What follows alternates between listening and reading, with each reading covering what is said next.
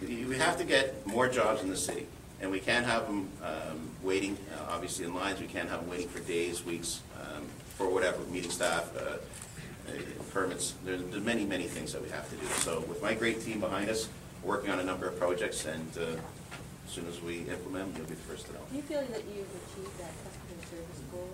Uh, We've improved it a lot. Obviously, um, there's a lot of work to be done, um, but the staff is a lot better than what they were. Do Um, people answer their phones? Oh, you know what? It's improving.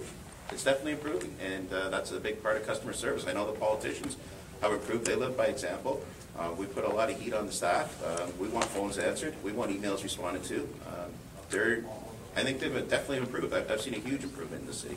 Mayor Ford, do you have a budget chief yet? Uh, We're, we're working on it. Mayor Ford, uh, Karen Stintz uh, joining a panel today that George Smitherman is organizing, actually looking at uh, how leadership has failed in the city of Toronto.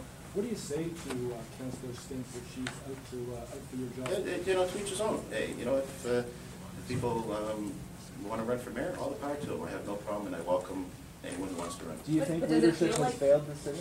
No, not at all. We've done a fantastic job. You know, you look at the numbers, you talk to the taxpayers out there.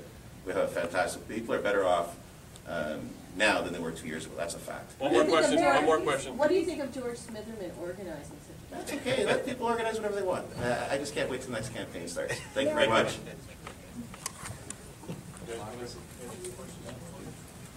Any more questions? Super Bowl prediction? Super Bowl? Sorry, that was my last question. Ravens.